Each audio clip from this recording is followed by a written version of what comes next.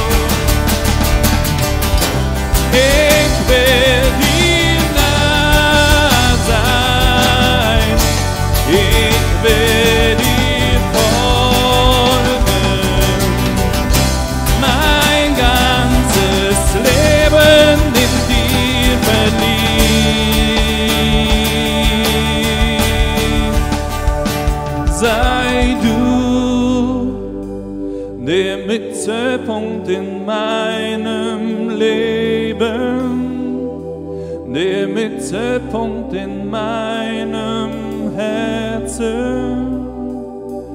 Ich gehöre dir.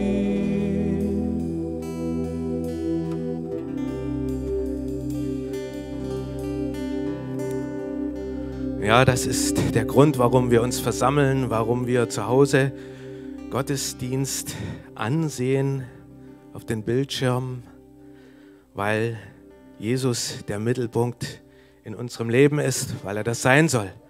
Und hiermit begrüße ich alle, die zu Hause den Gottesdienst an dieser Stelle verfolgen. Herzlich willkommen.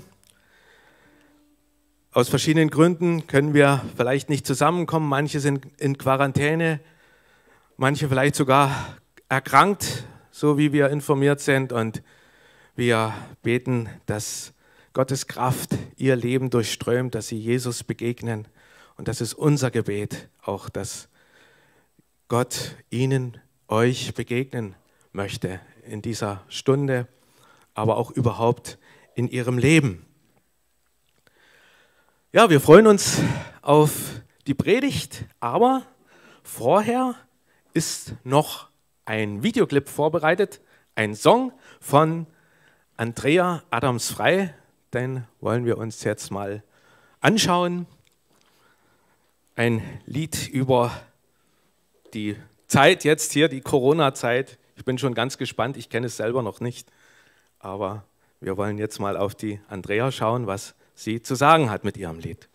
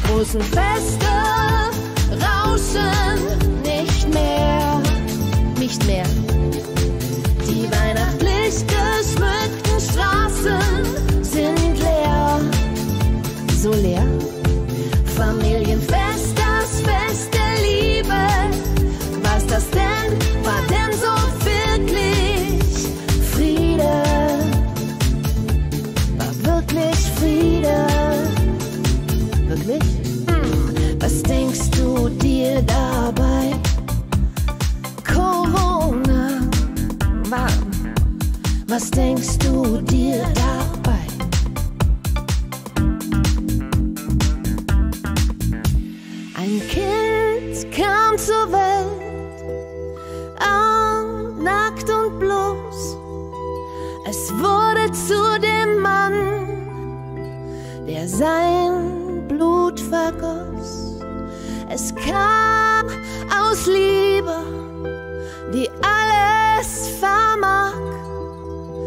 Darum feiern wir heute diesen Tag, weil Liebe sich schenkt, ohne Titel und Macht. Sagen wir, es war eine heilige Nacht.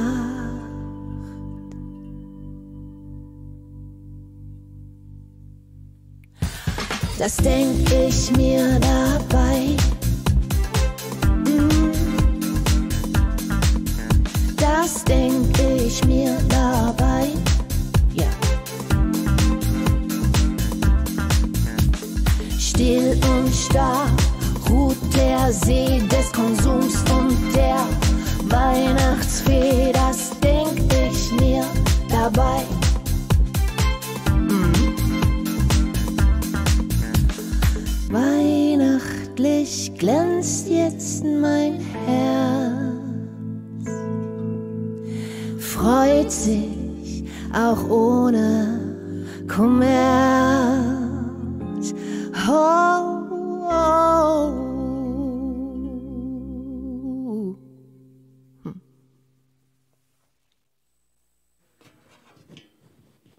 Sehr schön, wie Andrea Adams-Frei uns den Blick auf das Eigentliche lenkt, warum wir Weihnachten feiern. Und das kann uns niemand nehmen.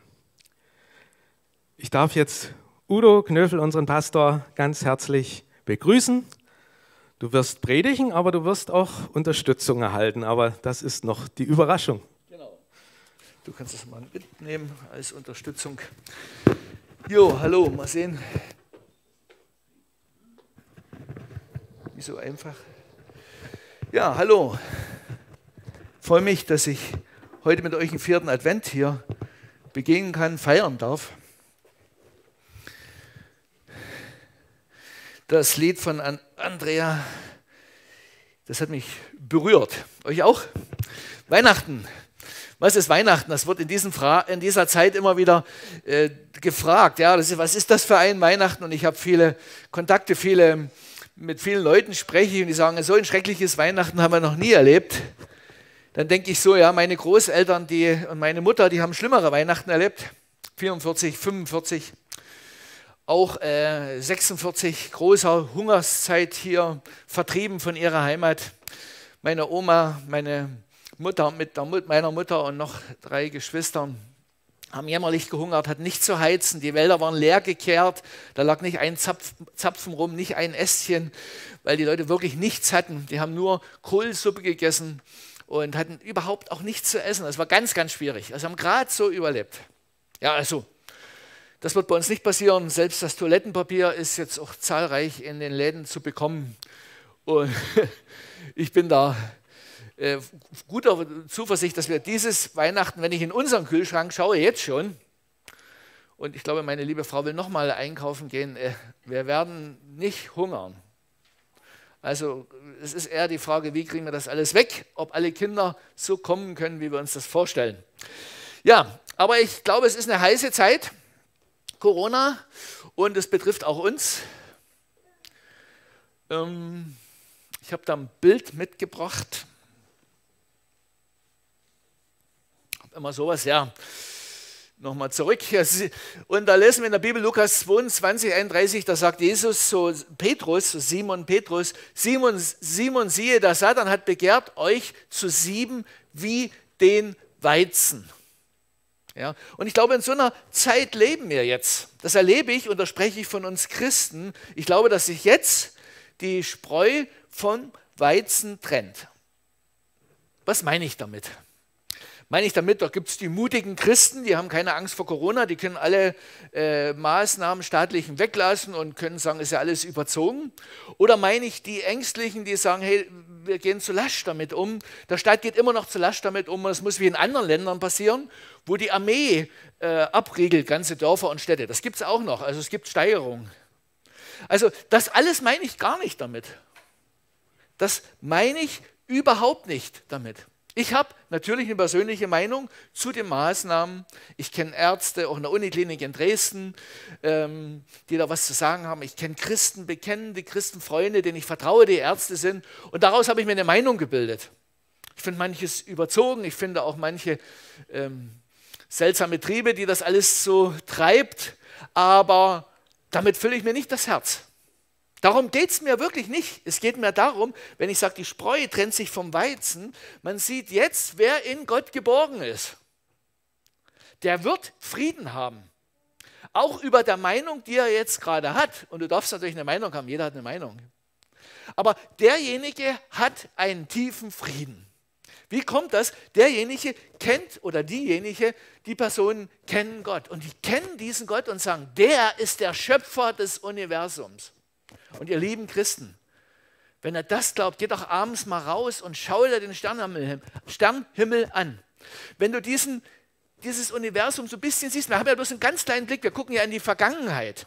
Viele Sterne, die wir sehen, oder einige, die gibt es gar nicht mehr, weil die so weit entfernt sind und das Licht so lange hierher braucht, trotz Lichtgeschwindigkeit, dass die schon längst nicht mehr existieren. Wir gucken in die Vergangenheit, wir gucken rein und wir gucken in Gottes Schöpfung uns da an. Da erfüllt mich wenn ich mein Teleskop nehme, unheimliche Ehrfurcht vor diesem Gott. Und dieser Gott, das muss ich mir immer wieder das Herz damit füllen, will mein Vater sein. Der sagt, ich kenne dich, ich kenne deine Tage, ich habe Dinge für dich vorbereitet. Dieser Gott wurde Mensch, ist für mich gestorben, hat mich erlöst, hat meinen Feind, den Satan, besiegt mit seinen ganzen Dämonen her, dem Fürst dieser Welt, das ist nicht irgendwer. Und dieser Gott lebt in mir durch den Heiligen Geist. Glaubst du das? Dann kannst du Frieden haben. Glaubst du das nicht? Kannst du keinen Frieden haben. Ich habe jetzt jemanden, jemand sagte zu mir, ja, es gibt die Impfung und Bill Gates ist ja da der Oberguru, der kümmert sich darum, der hat viel Geld reingegeben, die Weltgesundheitsgeschichte da. Und ja, jetzt, kriegst, jetzt kriegt man, jeder, wenn man die Impfung kriegt, einen, einen kleinen Chip eingepflanzt. Danach tickst du nicht mehr, wirst, wirst du gleichgeschaltet, wirst du ferngesteuert sozusagen. Okay, das halte ich für eine Verschwörungstheorie Nummer eins, also ich, ist meine Meinung. Aber immer noch sage ich dir eins: Gott ist viel größer als so ein Chip, wenn es wirklich wahr wäre. Hey, an was glauben wir? An eine Pappnase, der nichts kann? Ist es wirklich bloß Tradition, was wir leben? Christliche Ethik? Und da halten wir ein bisschen zusammen und helfen uns gegenseitig. Das kann die Welt auch. Da gibt es tolle Organisationen. Die sind richtig toll. Es gibt richtig tolle Organisationen.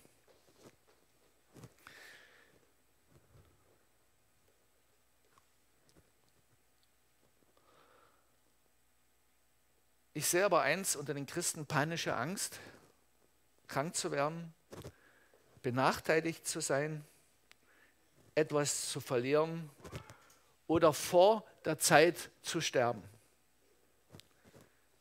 Ich sehe unter den Christen Rechthaberei und ich sehe, da mache ich nicht mit. Mir ist es egal, wie die Gemeindeleitung drauf ist. Solche Dinge sehe ich. Also ich rede nicht jetzt unbedingt von unserer Gemeinde, ich sehe es im Leib Christi. Eine Riesenverunsicherung, Riesenangst. Ich höre auch einige Beiträge. Die Woche habe ich mich so sehr geärgert, da ist mir das passiert, dass ähm, mein Herz gefüllt wurde. Da kam äh, ein christlicher Würdenträger und er wurde interviewt und ich hätte können ins Radio springen und sagen, es kann nicht wahr sein. Wo wir jetzt die Chance haben, anders zu sein, Licht zu sein. Aber es ist die Frage, bei uns Christen ist ein Scheffel über unser Leben, sind wir auch gefangen in Angst, sind wir in Lügen gefangen, mit was füllen wir unser Herz? Ähm, wie gesagt, durch Religion, durch christliche Ethik, durch theologisches Wissen, durch leere Worte wird man nicht furchtlos, wird man nicht frei. Äh, lebt man immer so, als man muss alles unter der eigenen Kontrolle haben. Ja, meidet vielleicht das und jenes. Man soll doch da schlau sein. Ich will auch keinen so nahe treten. Aber man lebt in einer Furcht und nicht in der Freiheit Gottes. Von der Luther spricht, die Freiheit des Christenmenschen. Und Luther lebte auch in schweren Zeiten. Da gab es die Pest, das war mal noch eine andere Ebene von Krankheit. Da gab es auch nie eine Impfung demnächst, sondern entweder du hast überlebt oder nicht überlebt. Und Luther hat gesagt, wenn ich gerufen werde, gehe ich hin. Denn mein Leben liegt in Gottes Hand. Oder ich denke an die NS-Zeit mit Dietrich Bonhoeffer, der im Gefängnis saß, weil er aufgestanden sagt, das ist nicht recht. Da gab es die bekennende Kirche, aber das waren Männer und Frauen, die kannten Gott. Und er saß im Gefängnis und immer wieder, wenn ich das Lied spiele, von guten Mächten wunderbar geboren, denke ich, was für ein Mann. Aber das war nicht was für ein Mann, sondern der hatte echten Glauben, der kannte seinen Gott. Und als er hingerichtet wurde, hat man ihnen solche Worte gesagt wie, das ist dein Ende. Er sagt, nein, das ist jetzt der Beginn. Jetzt werde ich den Körper verlassen und dort sein, in meiner Heimat, in meiner himmlischen Heimat. Und er hatte keine Angst zu sterben. Sicherlich, sagt er, wie wird es sein, jetzt hingerichtet zu werden, erhangen zu werden. Aber er ist zu seinem Vater gegangen. Glauben wir denn das wirklich? Ich muss immer an die Monika Deidenbeck denken, die sagt, die Christen glauben ja nicht, was sie glauben. Und in solchen Zeiten, wenn Krisen sind, da offenbart sich, da trennt sich die Spreu vom Weizen. Unsere Religiosität, unser theologisches Wissen, das alles ist nichts. Die Frage ist, ist, was ist in deinem Herzen? Das Wort Gottes? Wenn das Wort Gottes in unserem Herzen ist, ist es doch dann so, dann kann ich mit jedem barmherzig sein, auch der ängstlich ist. Dann setze ich diese Maske, die ich auch nicht gern aufsetze, für den anderen auf. Dann bin ich bereit, dem anderen zu dienen. Dann schaue ich, wo kann ich helfen. Dann, wenn ich unterwegs bin und Leute treffe und die schimpfen, dann sage ich, es gibt auch noch ganz andere Sachen. Wir können dankbar sein. Und das Beste gegen Depression und Ängste ist Dankbarkeit. Ich glaube, das ist jetzt die Zeit, wo ich staune, wo, wo, Christen aufstehen, die mutig sind, die nicht leichtsinnig sind, die nicht irgendwie und die den anderen verstehen können, die den anderen abholen können. Zu DDR-Zeit war es auch so. Es gab Nachteile. Mit Jugendweihe, da war eigentlich die Karriere vorbei. Da konntest du keinen akademischen äh, Weg eigentlich so richtig einschlagen. Da wurden sie bespitzelt. Theo Lehmann, ich weiß nicht, wie viel Spitzel er hatte, vielleicht sechs, sieben oder irgend sowas, die ihn bespitzelt haben. Bis hin zu seinem, bis, oder viel mehr, äh, bis zu seinem äh, Pflegekind hin. Und das hat ihn tief getroffen. Aber eins hat er, er hat absoluten Glauben an Gott und das hat er bis heute. Und er hat seine Meinung und er kann damit leben, dass ihn Menschen ablehnen oder nicht ablehnen. Aber er verkündigt das Reich Gottes. Ist der allmächtige Gott dein Vater, dein Schöpfer des Universums? Ist Jesus dein Herr, Bruder und Freund, der alles unter Kontrolle hat? Hörst du die Stimme Gottes? Leite dich oder und auch mich der Heilige Geist auf rechter Straße oder irgendwo hin? Gott, ihr Lieben, steht über den Dingen. Und die Bibel sagt es, selbst Sterben ist für mich, für dich und für mich Gewinn. Er hat alles unter Kontrolle und es kann nichts außer Kontrolle geraten. Du kannst nicht vor der Zeit diesen Planeten verlassen. Er hat die Kontrolle und ich habe so viele Beispiele davon auch, wie das war. Ja, ich glaube, eine meiner wichtigsten Predigten dieses Jahr war, da habe ich gesprochen über Herzensanliegen, zweimal. Und ich bin mir eigentlich auch sicher, dass es nicht so richtig gelandet ist. Bei, bei manchen ja, aber bei manchen anderen, die lassen sich ablenken durch alles Mögliche und hören nicht hin. Und da habe ich gedacht, so der Prophet im eigenen Lande oder in der eigenen Familie, der zählt wenig. Ach, den Udo, den haben wir schon so oft gehört. Was der, der Herr erzählt, ist ja immer wieder dasselbe. Ja, eins ist immer wieder dasselbe. Jesus liebt dich, schau auf Gott. Er hat überwunden. Hab keine Angst. Hab eine echte Beziehung zu Gott. Sei nicht irgendwie religiös gebunden. Reine Theologie hilft dir nichts. Es ist gut, wenn du das Wort Gottes liest. Füll dein Herz mit der Wahrheit. Schau auf Gott. Glaubst du wirklich an ein ewiges Leben oder ist das alles bloß ja, schöne Gemeinschaft? Das ist eben auch eine Art Vereinsleben. Das werde ich immer wieder sagen. Und eins der springenden Punkte für mich ist, mit was wir unser Herz füllen. Eigentlich wollte der George herkommen und darüber hier bei uns predigen. Ich habe bei Ihnen über das Herz gepredigt weil er sagt, der Prophet im eigenen Lande gilt nicht so viel, als wenn einer Gast kommt. Und heute habe ich ihn hier zu uns eingeladen. Habt ihr ihn schon gesehen, Georgi? Er wird jetzt kommen. Ich, er hat extra was aufgenommen und geschickt. Und ich freue mich, dass ich meinen Freund jetzt begrüßen kann, äh, den Georgi. Schauen wir mal, ob er erscheint. Na, Georgi, wo bist du? Nochmal. Bis jetzt ist er nicht da, aber wir probieren es. Nix. Da ist er. Da ist er.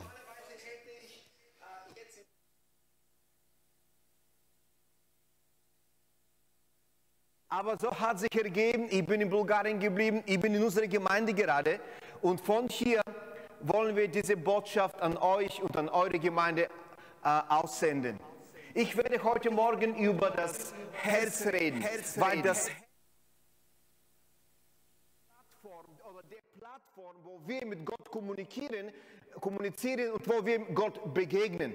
Und es ist so wichtig, dass diese Environment, diese, diese Umgebung, diese Atmosphäre auch in unserem Leben schützen, sodass wir ein ungestörtes Gemeinschaft mit Gott haben können. Ich werde kurz vorher beten und dann, und dann werden wir loslegen mit dem Wort Gottes.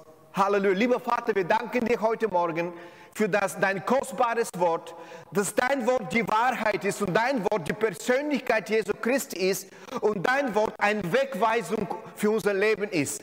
Segne heute Morgen die, unsere Gedanken des Herzens, segne heute Morgen das, was wir aussprechen und lass, oh Gott, dein Wort zutiefst in unserem Herzen hineindrungen, so dass dein Wort uns verändert und eine wunderbare Frucht in unserem Leben entsteht. Im Namen Jesu Christi, ich segne alle Zuschauer heute und ich bitte dich, dass heute Morgen wirklich ein lebendigen Draht zu Herzen stattfindet. Im Namen Jesu Christi.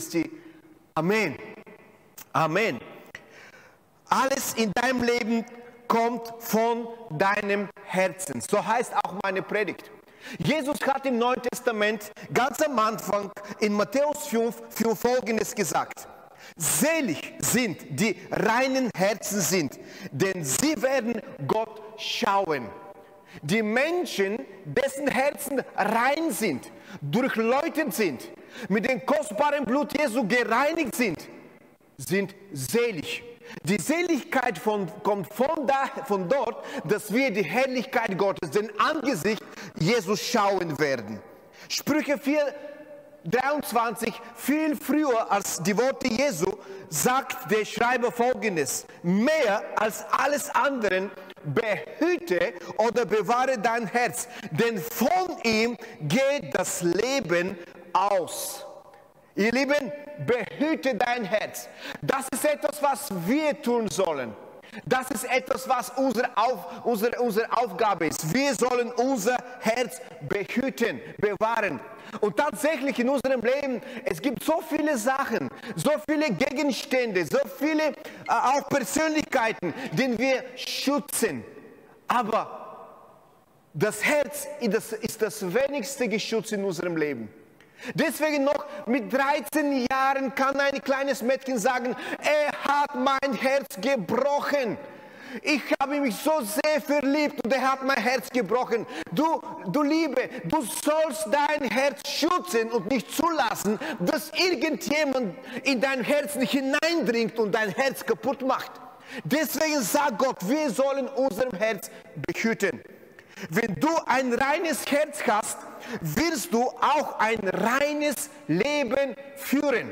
Und andersrum, wenn dein Herz unrein ist, wird dein Leben dementsprechend auch unrein ist. Wird. Dies ist ein unwiderrufliches Gesetz, das für jedes menschliche Verhalten gibt oder gilt. Egal ob das Misserfolg oder Erfolg ist. Verbrechen oder Gutes tun, Ehebruch oder glückliches Ehe. Unser Herz ist entscheidend. Alles fängt mit unserem Herz an. Da sind die Quellen des Lebens. Wisst ihr, es gibt eine ganz interessante Bibelstelle in Sprüche 3, Vers 11. Hier wird Folgendes gesagt von Gott. Es geht um Gott und heißt, er, Gott, hat alles schön gemacht zu seiner Zeit. Und diese Aussage ist wahr. Gott hat alles wunderschön und hübsch gemacht an seine Zeit. Es ist so schön, dass, dass, wenn es schneidet. Wir lieben im Dezember, Januar, wenn, wenn es schneidet. Es ist schön für die Augen, es ist schön auch für den Boden und für den Saatgut. Aber wie schrecklich wäre, wenn im August, wenn, wenn, die, wenn die Ernte eingesammelt wird, wenn dann schneidet.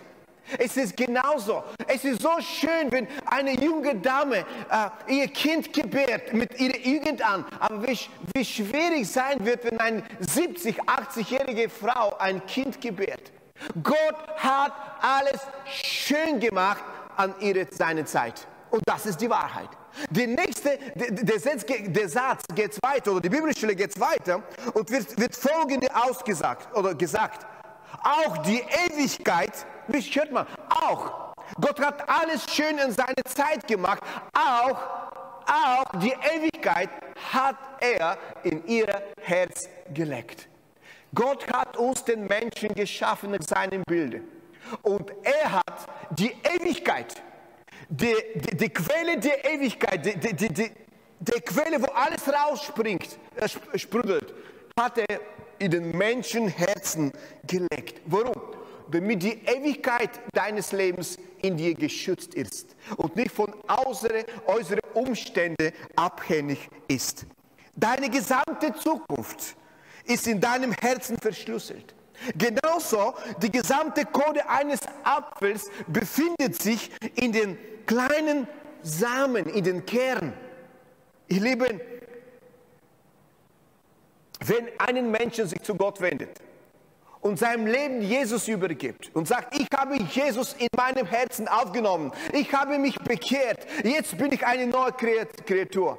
Ihr Lieben, wir reden von Wiedergeburt und der Wiedergeburt, in der Wiedergeburt Gottes eilig, die Kommandopult deines Lebens zu, zu übernehmen. Er möchte an erster Stelle deines Herzens kommen. Und dann ist das Wiedergeburt echt, wenn Jesus den Zugang und vollkommene Kontrolle über dein Herzen hat. Wir reden, dass Gott unser Herz erobert. Warum? Damit unsere Zukunft, damit unsere Ewigkeit in sicheren Händen ist.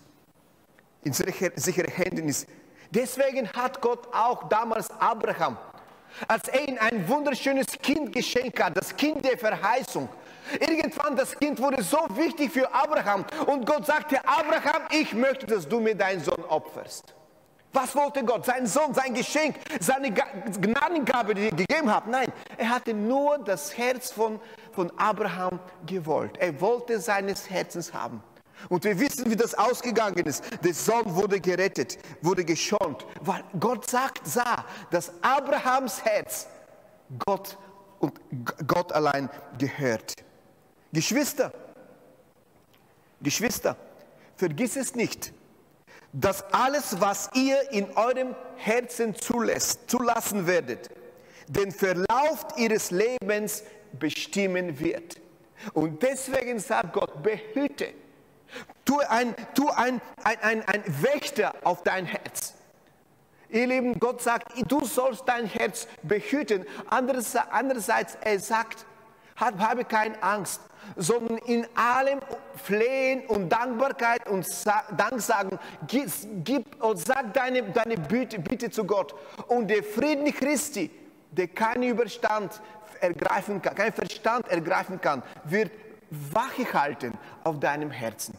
Gott möchte, dass unser Herz einen Wächter hat, ein, ein Schützer hat, jemand, der unser Herz schützt. Und wir sollen aufpassen, dass wir nichts Schlimmeres in unserem Herz hineinlassen. Und wir trotzdem, wir versichern unsere Häuser, unsere Autos, unsere Gegenstände, aber so wenig unser Herz ist so ungeschützt. Und daher entstehen die größten Katastrophen. Sprüche 18,12 wird Folgendes gesagt. Vor dem Zusammenbruch erhebt sich des Menschen Herzen, aber die Ehre geht den Demut voraus. Es ist eine, eine direkte Verbindung zwischen, zwischen Herz und deiner Zukunft. Und wenn, wenn mein Herz anfängt, sich zu erheben, es findet etwas statt in meinem Herzen, dann äußert sich in das äußere, äußere Leben. Ich gehe zugrunde. Aber sobald ich anfange, mich vor Gott zu demütigen, bescheiden zu leben, eine aufrichtige Beziehung zu Gott habe, es ist eine Frage der Zeit, dass Gott mich einfach in mein Leben erhebt. Es ist nicht möglich, dass ich inakzeptablen Dinge in meinem Leben habe und richtig lebe. Es ist nicht möglich. Und andererseits, ich kann, ich kann au- auch nicht die richtigen Dinge in meinem Leben stauen und habe und falsch leben. Deswegen, alles, was eu- in eurem Herzen zulassen werdet, der Verlauf eures gesamten Lebens bestimmen wird. Ich werde jetzt kurz die Bibelstelle aus Sprüche 4,23 ähm, in eine afrikanische Übersetzung vorlesen. Ein afrikanisches Dialekt. Und Dialekte oft sind sehr, sehr, sehr, sehr ähm, arm und die können nicht so viel Vokabular ausdrücken, aber diese Übersetzung ist hervorragend. Afrikanische Übersetzung. Bewahre dein Herz mit aller Kraft. Denn alles im Leben kommt vom Herzen. Alles in deine Zukunft, alles in deine Ewigkeit, was passieren würde, es kommt, es fließt, es sprudelt von deinem, deinem Herz. Sprüche 17,20 werde ich vorlesen. Sprüche 17,20. Pritsch. Wer verkehrt, verkehrten Herzen hat. Andere Übersetzung heißt folgendes. Wer verschrobenen Herzen hat, wird Gutes nicht finden. Und wer sich mit seiner Zunge wi- windet, wird das Unglück fallen. Merkt ihr die Schlussfolgerung, dass, dass, dass, dass zum Beispiel das Verkehrten des Herzens. Natürlich, wenn jemand in seinem Herzen verkehrt ist, wird er nicht das Gute finden können. Es ist, es ist logisch, das Wort Gottes sagt das. Und wer seine Zunge wind- windet, wird das Glück finden. Nein, das Unglück fallen. Hört mal bitte Sprüche 24, 2. Denn ihr Herz trachtet nach Schande. Andere Übersetzung heißt, ihr Herz trachtet nach Gewalt. Wenn ihr Herz, wenn der Herz dieser Menschengruppe nach Gewalt trachtet, was würden, denkt ihr, was würden ihre Lippen reden? Unheil. Natürlich.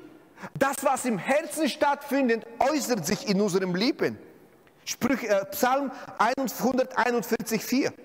Lasst mein Herz sich nicht zu einer bösen Sache neigen. Das ist ein Gebet. Herr, bitte, bewahre mein Herz. Erlaube es nicht, lass es nicht so, dass mein Herz sich zu einer bösen Sache neigt. Weil unser Herz so, so wackelig ist manchmal. Links, rechts. Aber sobald mein Herz nach, zum bösen Sachen neigt, dass ich gottlosen, gottlose Taten vollbringe mit den Übeltätern. Natürlich. Das ist die normale Folgerung der Sache.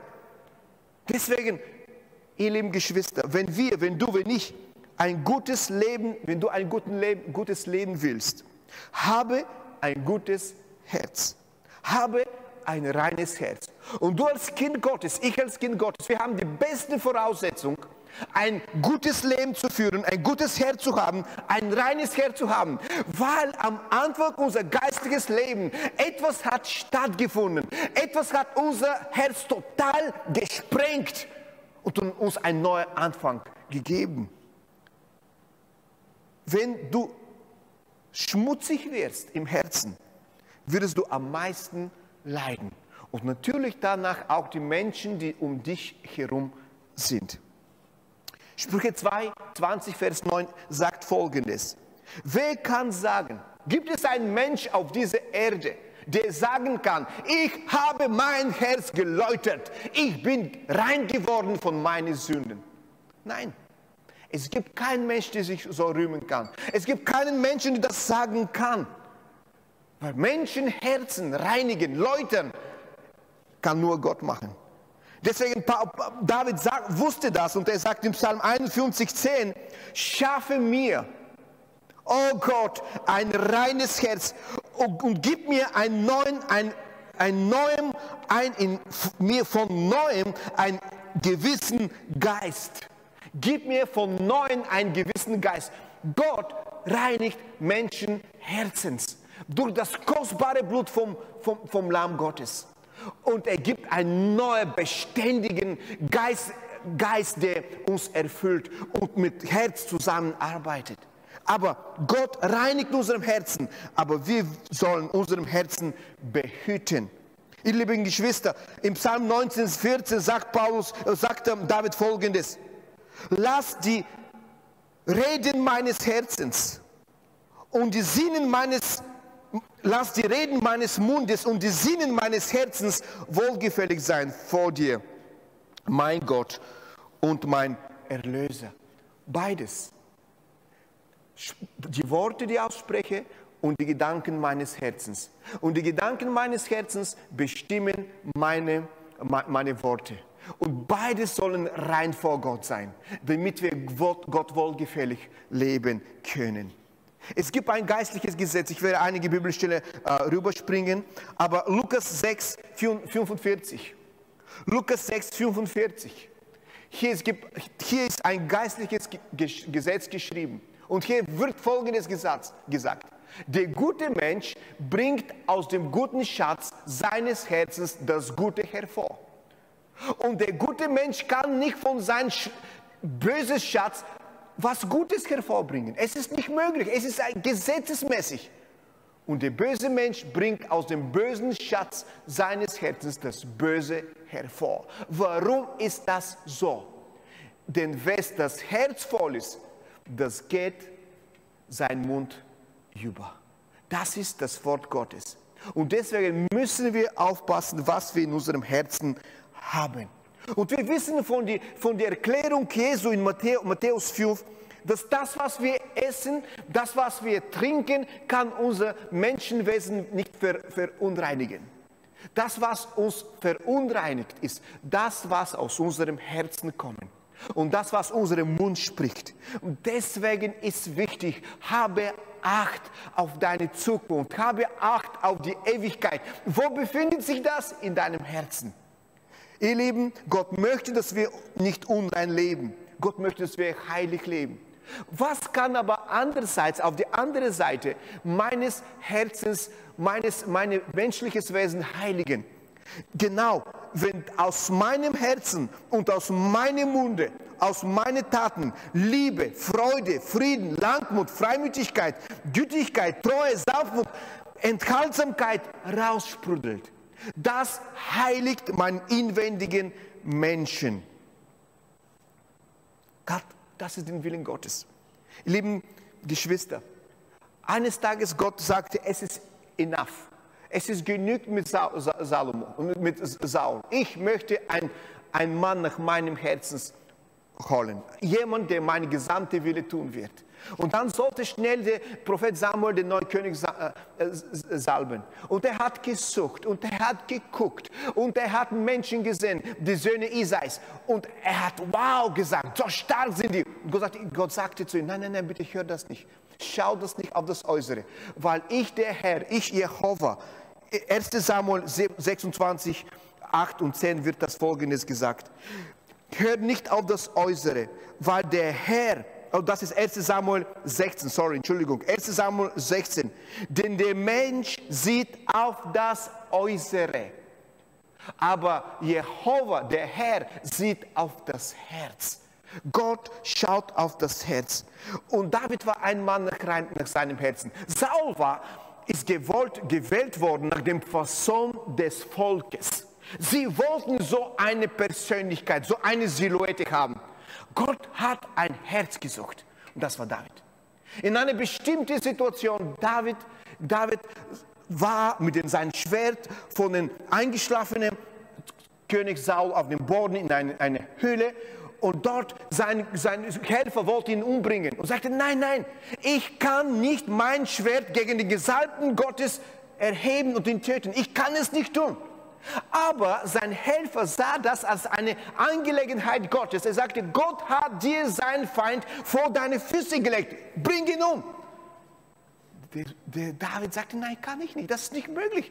Fern sei das von mir, fern von meinen Gedanken. Ich kann das nicht tun. Warum beide Männer sehen dieselbe Situation anders?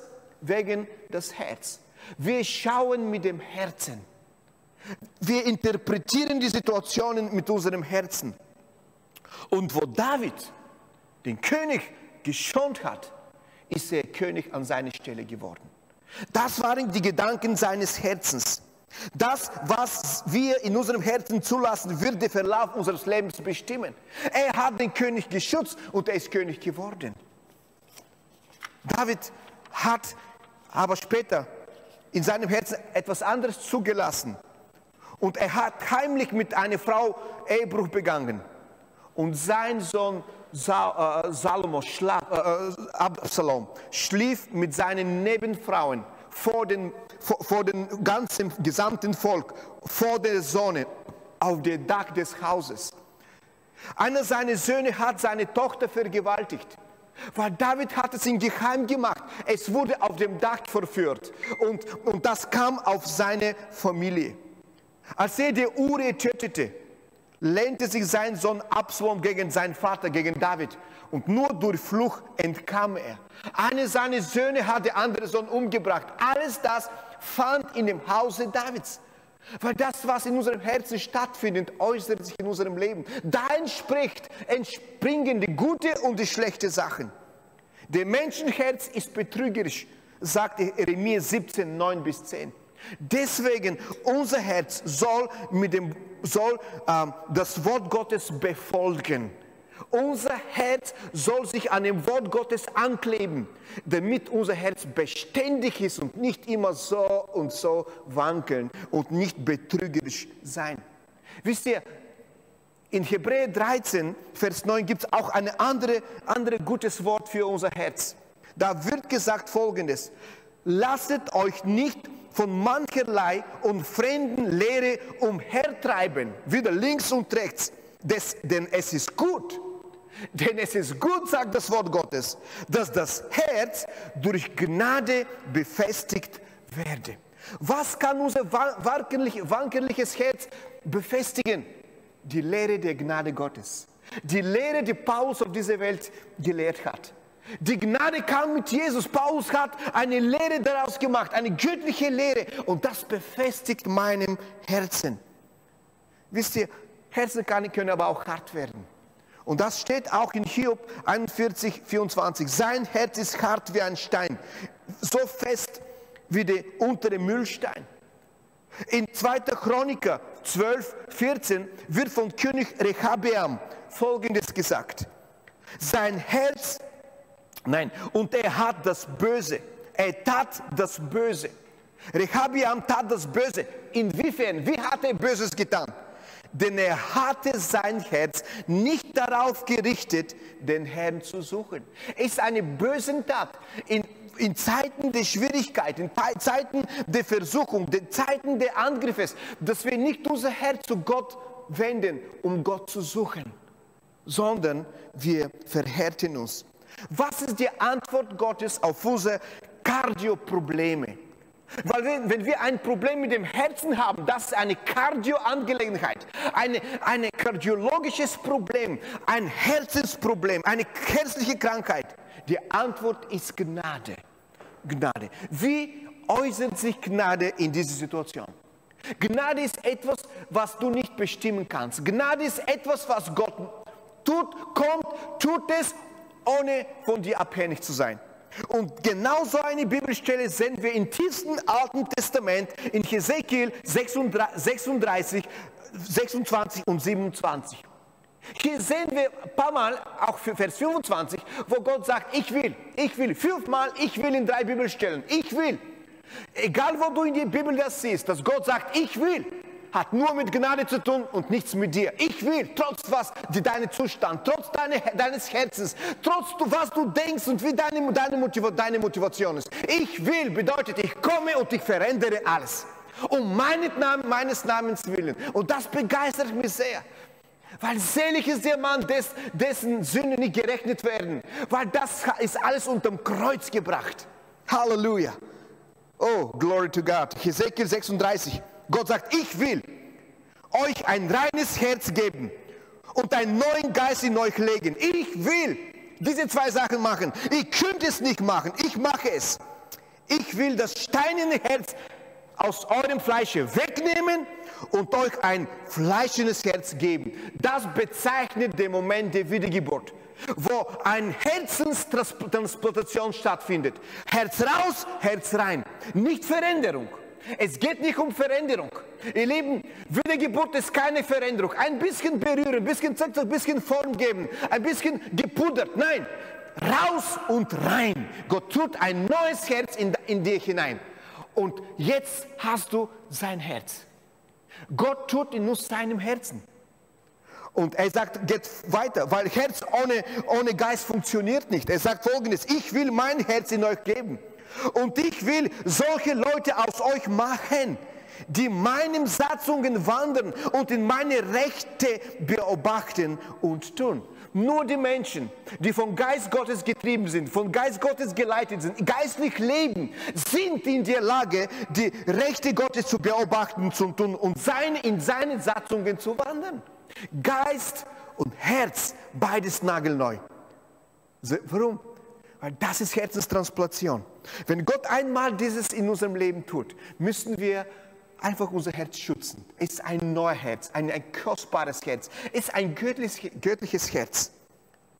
Zukünftige Situationen und Optionen werden in unserem Herzen geschaffen.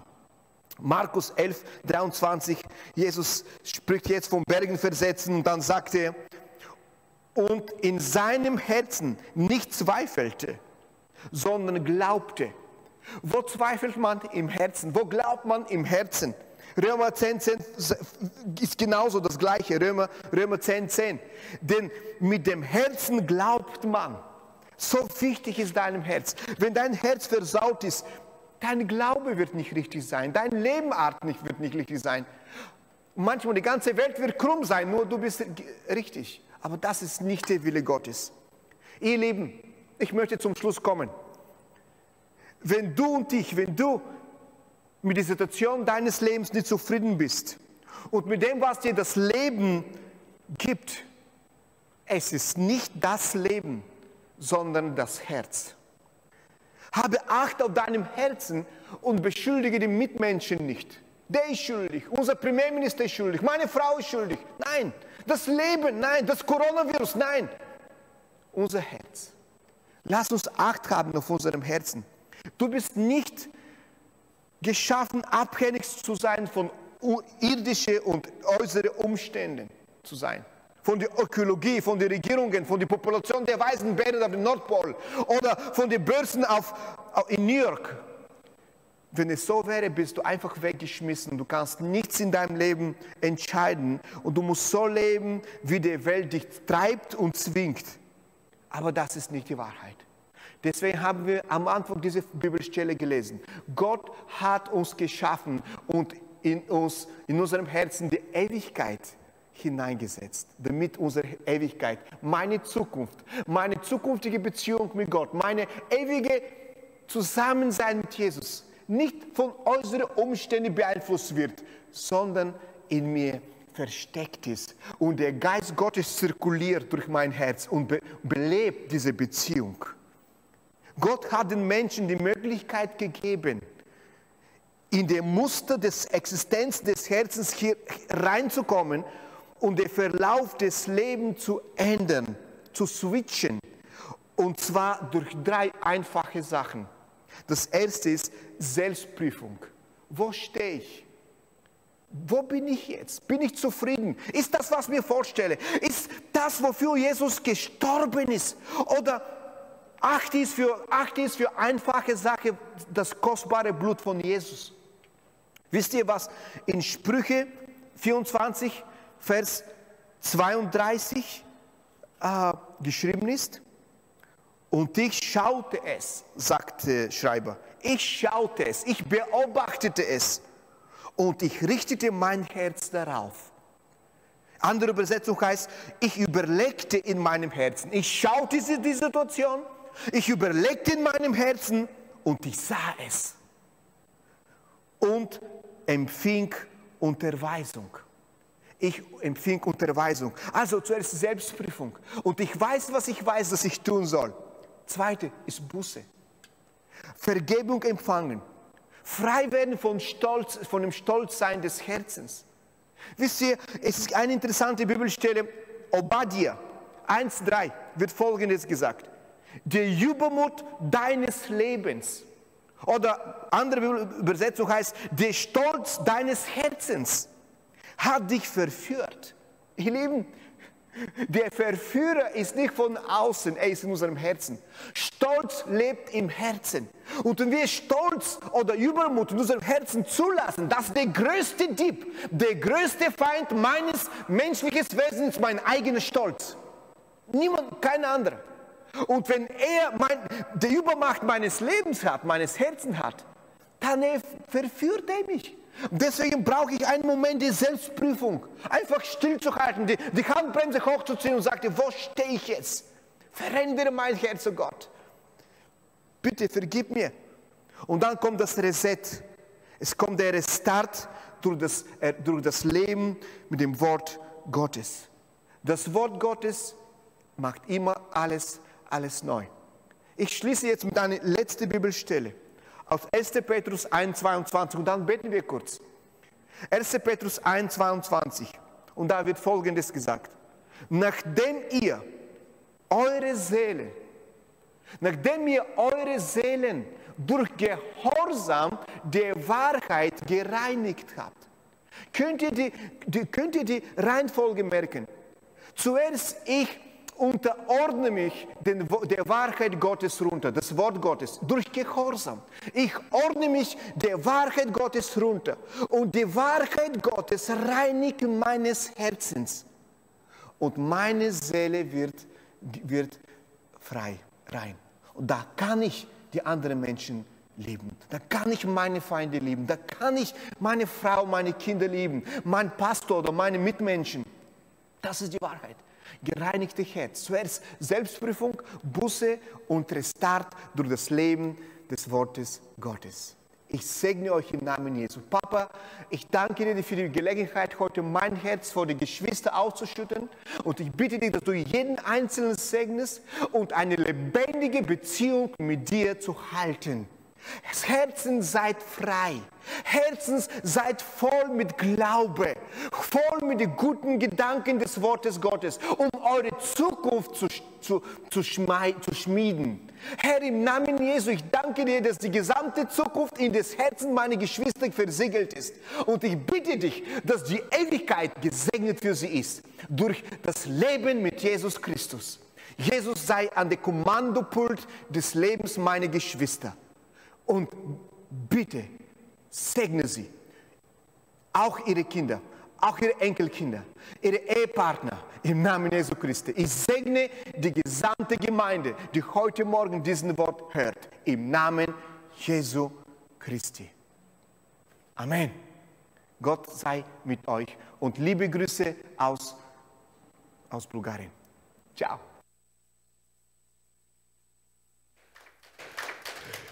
Also das Herz, also das Herz ist voll. Ich glaube, er ist überzeugt von seiner Botschaft. Ich glaube, der meint es wirklich so. Ja, ich hatte noch ein Bild mitgebracht von der Familie, wenn ich die nochmal sehen kann, das ist davor gewesen. Wenn wir es nochmal sehen könnten, wenn wir es noch hochkriegen.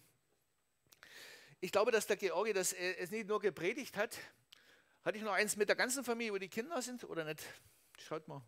Ja, da ist es. Oh, das habe ich selber weggemacht.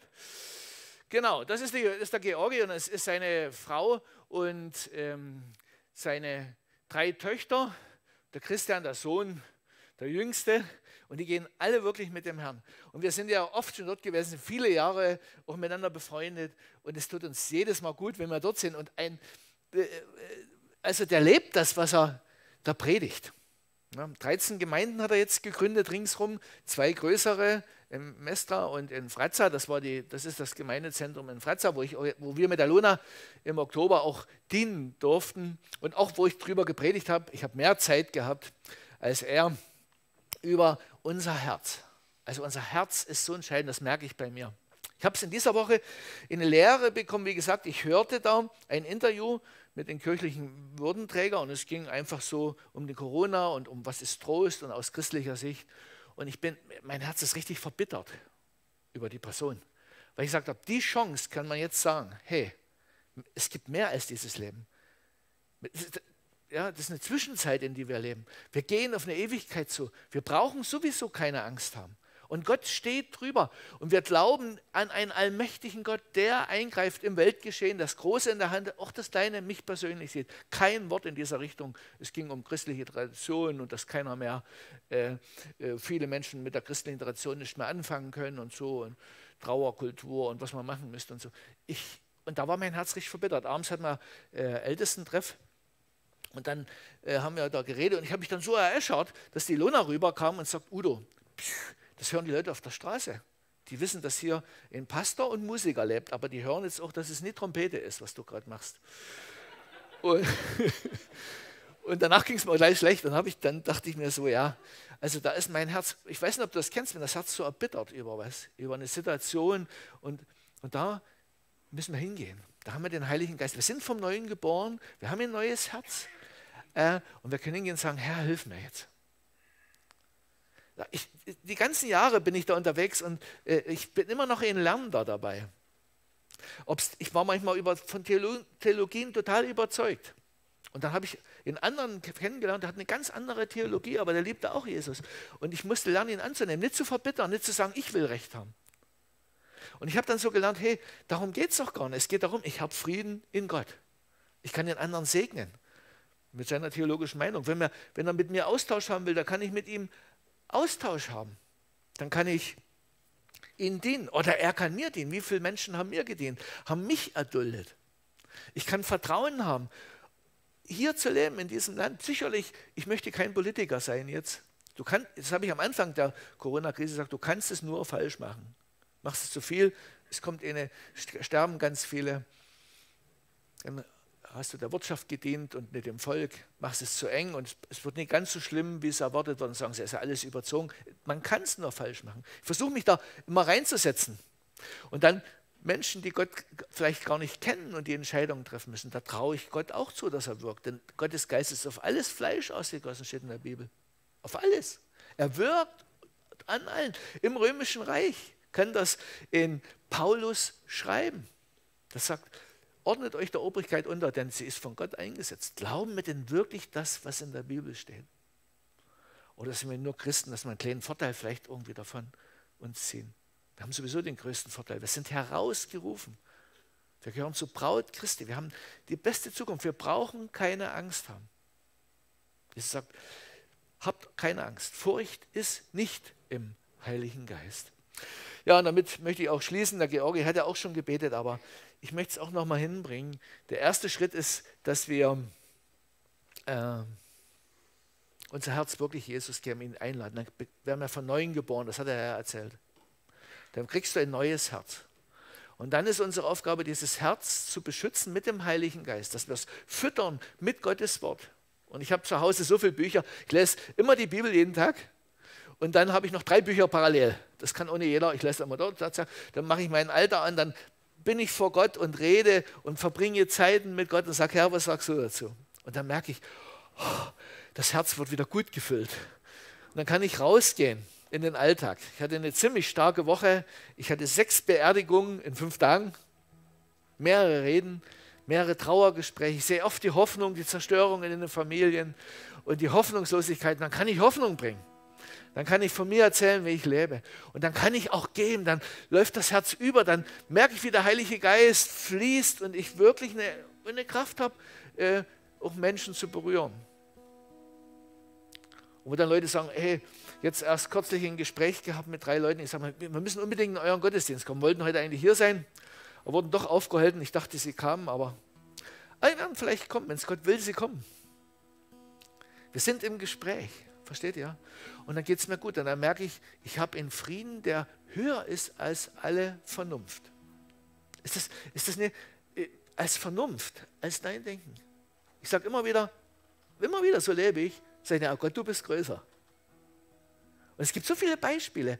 Als Israel äh, 48 gegründet wurde, wurde es von einer unheimlichen Übermacht angegriffen. Und die Araber, die haben gesagt, die, die, die treiben wir jetzt ins Meer, die paar Juden. Und Gott hat gesagt, nein, jetzt ist die Zeit, Endzeit, ich will Israel wieder gründen. Nach Jahrhunderten hat es noch nie gegeben in der Weltgeschichte ein Volk, was völlig vertrieben war, hole ich sie alle zurück. Und ich gebe ihnen dieses Land. Ich glaube, die letzte Stimme in der UNO dafür, es war ziemlich knapp, war noch Russland. Und dann haben die arabischen Länder, ich weiß nicht genau, sechs, denke ich, haben Israel den Krieg erklärt und haben gesagt, die treiben uns mehr. Und Gott hat gesagt, nein, dieser Staat wird existieren. Und ich habe Berichte gelesen, gehört, auch gelesen, auch von einem DDR-hohen General, habe ich ein Büchlein, und der sagt, es ist unmöglich, dass Israel gewinnen kann. Das ist niedergeschrieben. Es war militärstrategisch unmöglich. Was er nicht so wusste, der Heilige Geist ist gefallen und manchmal saßen die Panzerfahrer von den Arabern drin und waren völlig betrunken im Geist. Die wussten nicht mehr, was ihr Hebel ist und wo sie sollen schießen und überhaupt nicht mehr. Ja, ich habe selbst sowas erlebt, dass der Heilige Geist auf Menschen kommt, auf einen, auf einen Menschen in dem Fall, der äh, sehr verzweifelt war und dann äh, war der völlig betrunken im Geist. Ich habe selber erlebt, dass was in der Bibel steht, Apostelgeschichte, wirklich funktioniert, also wenn Gott kommt. Und so hat Gott gekämpft für Israel. Und so kämpft er für dich, kämpft er für uns, steht über ein Ding. Und dann ist es in Frieden, der ist über unserer Logik. Du sagst, es kann ja gar nicht mehr gehen, wie soll es weitergehen? Und dann, immer dann habe ich Gott erlebt. Ganz stark erlebt, wenn ich wusste, wie soll es jetzt weitergehen? Als wir zusammensaßen mit den Ältesten und sagen, wir können ja gar nicht äh, äh, das Gemeindezentrum bezahlen. Wir werden jetzt zwangsversteigert in so Land. Dann wirkte Gott, wir waren auf den Knien, wir waren demütig und Gott gab uns einen Weg, dass wir heute noch Soland das Gemeindezentrum haben. Es war wirklich, stand uns bis hier. Es, wir, und wir konnten immer was dafür, weil Abwasserleitung und weiß ich, wie lange die da gebaut haben. Unsere Gaststätte war so, überhaupt keine Finanzen mehr. Kam, man kam nicht mehr an den Stausee hinten zu unserem Gemeindezentrum rein. Und immer wieder habe ich das erlebt in ganz schwierigen Situationen, sagt Gott, und er greift ein. Manchmal dauert es, seine Wege sind anders, aber er hat eingegriffen. Nummer eins, dein Herz. Lade Jesus ein, sag, Herr, du sollst mein Herr werden. Vergib mir meine Sünden und du bekommst ein neues Herz. Punkt zwei, äh, lebe mit dem Heiligen Geist. Sag, Heiliger Geist heute, hilf mir, dass ich mein Herz reinhalte, dass ich mit dem Wort Gottes fülle, dass ich wirklich die Herrlichkeit Gottes im Blick habe. Und wenn ich jetzt in die Natur rausgucke, wenn ich sehe, Gottes Wunder umgeben uns. Die Bibel sagt doch, wir haben keine äh, Ausrede, weil wir sind von der Herrlichkeit Gottes, vom Wundern umgeben. Wie es Georgi sagte, in so einem kleinen Apfelkern ist ein riesen Apfelbaum drin. Ist alles drin wir sind von Wundern umgeben, wir haben uns bloß so dran gewöhnt und sagen, ist ja normal, läuft ja immer so, ist immer so. Weh ist, ist mal außer Kontrolle. Ja, also füll das mit der Herrlichkeit Gottes. Mach die Augen auf. Fang an, das, was du in der Bibel liest, auszusprechen im Neuen Testament. Lese das, was die Zusagen Gottes und füll damit dein Herz. Und daraus kommt das Leben, wie er sagte. Das Leben. Es sind nicht die Umstände schuld, unser Herz ist das Problem. Mein Herz war so oft im Problem. Das wünsche ich uns. Und damit verabschieden wir uns dann auch jetzt langsam aus dem Livestream. Der Frank wird es noch abschließen.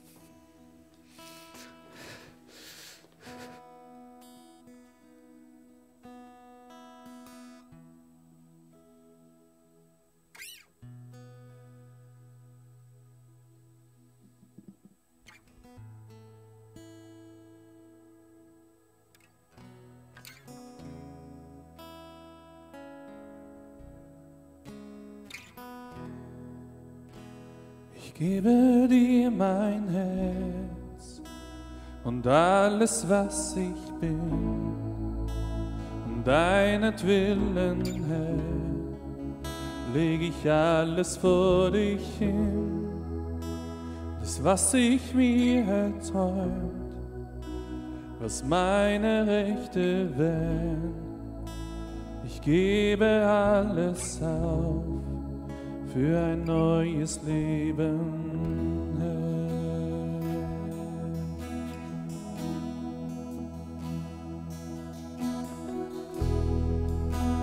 Ich gebe dir mein Herz und alles, was ich bin, um deinetwillen, Herr, leg ich alles vor dich hin das, was ich mir erträumt, was meine Rechte wären. Ich gebe alles auf für ein neues Leben, Herr. Mein ganzes Leben gebe ich dir, gebe ich dir. Mein ganzes Leben gebe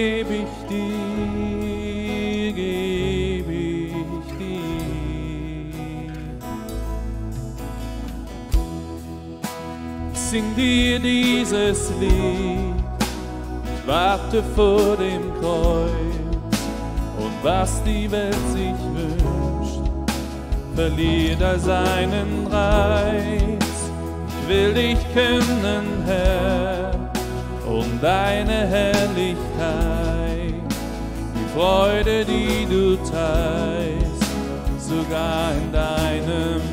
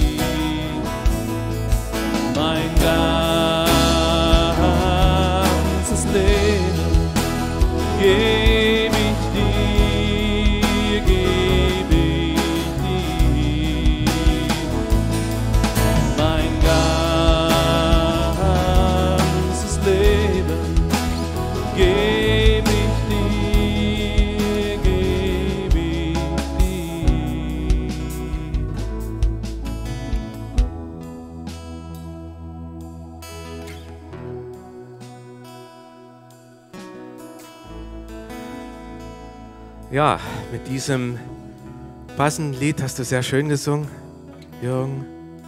Passend zu unserer Predigt heute wollen wir uns auch aus dem Livestream verabschieden. Wir wünschen Gottes Segen und dass der Friede Gottes, der höher ist als alle Vernunft, eure Herzen erfüllen möge.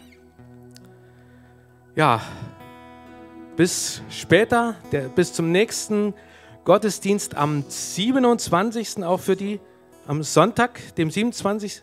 27. Dezember. Und natürlich eine herzliche Einladung auch an die Online-Übertragung der Christfestbar am Heiligen Abend 15 Uhr, wozu wir auch ganz herzlich einladen. Seien Sie gesegnet, einen gesegneten vierten Advent und schöne Feiertage, wenn wir uns nicht sehen sollten oder begegnen können, dann wünschen wir alles, alles Gute. Tschüss.